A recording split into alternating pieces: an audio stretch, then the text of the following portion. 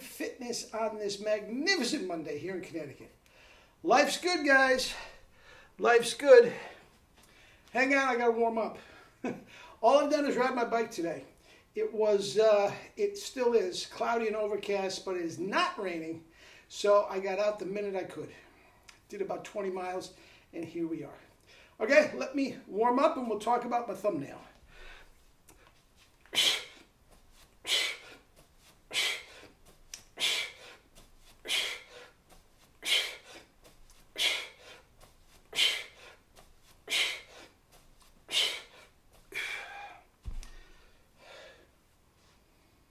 Life's good.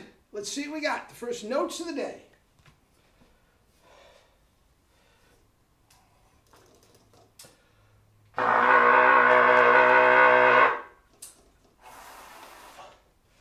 Bodes well.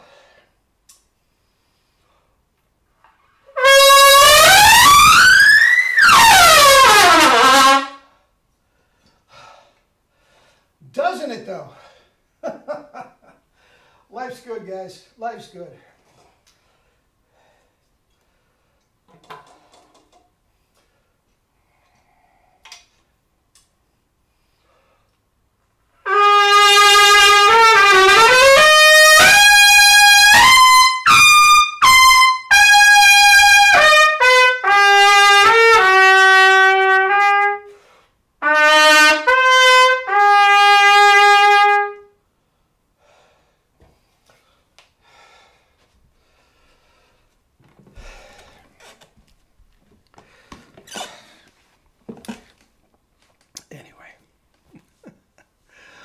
Oh, yeah.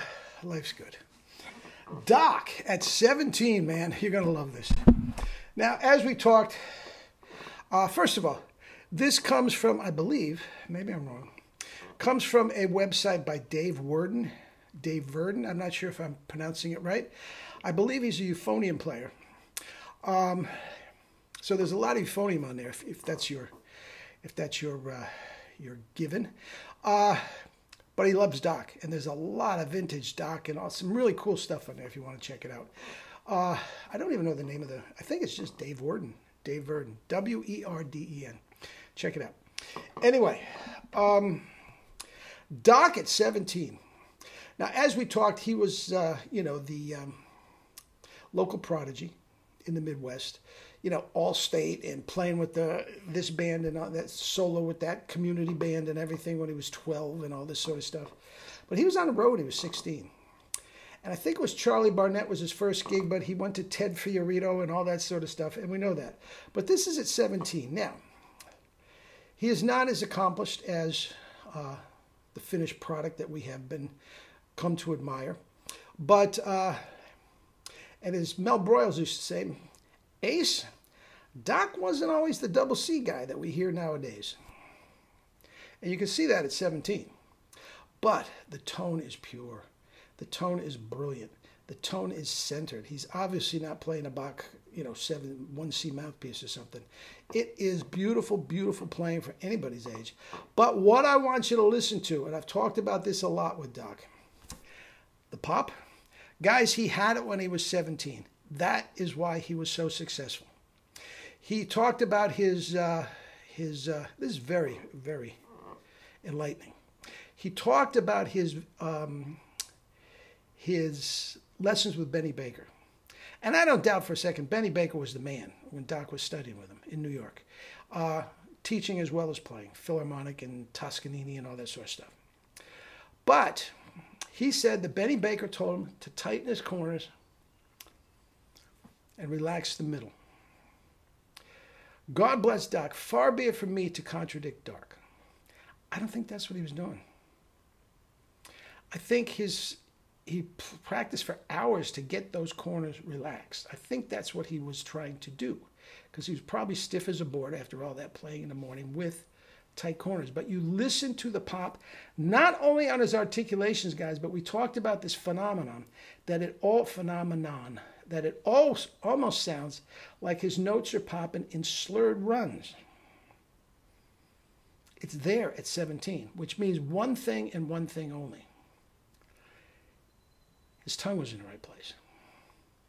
And if your tongue is in the right place, either through the lips or the tip directly behind the teeth, and push forward.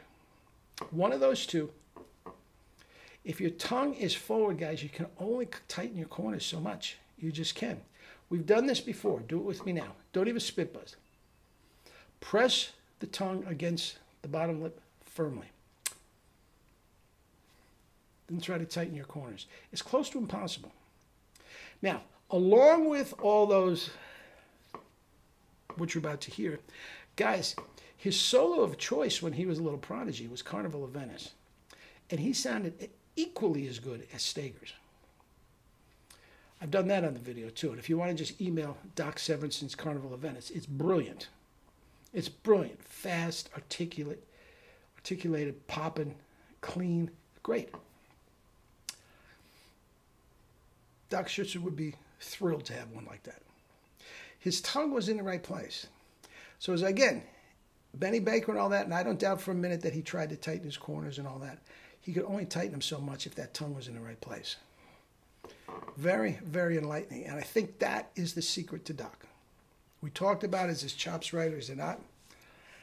Again, I don't think they were as tight, the corners were as tight as you think about. And if he is trying to relax the middle, which Benny Baker said, you can't have it both ways. You really can't. It's very hard. It's very hard. And if the tongue's in the right place, as I said seven straight times, you can only get so tight. And I think that, from 17 years old, is the reason Doc could put in the multiple hours and just get better and better and better and not wipe himself out because the tongue was in the right place. All right? All right. Check it out and enjoy. Like your comments.